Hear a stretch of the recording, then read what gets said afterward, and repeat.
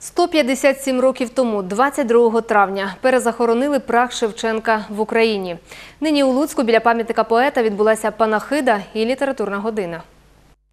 Тарас Шевченко помер у віці 47 років у Санкт-Петербурзі і був похований на Смоленському кладовищі.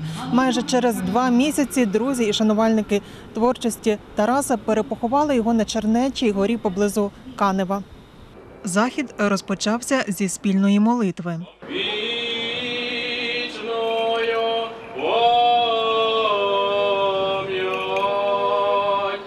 Його слово дуже багато важить і важить саме для простих людей. Його поезія є глибокою, але попри те, зрозумілою. Для будь-якої людини треба е, пам'ятати про Шевченка, не робити з нього ідола при тому, розуміти, що це був живий чоловік, який став для нашої нації генієм.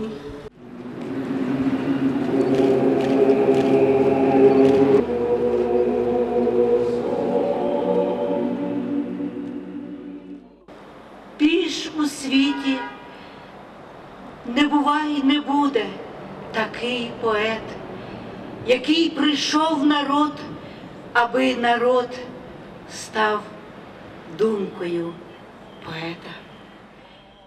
В його творчості закладені ті слова і той генетичний код, який є духом сьогодення.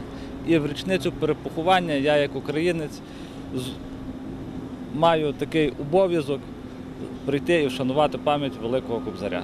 Патріот, який дуже сильно любив Україну, попри усе, та не забував про неї, навіть коли був е, у Росії на засланні.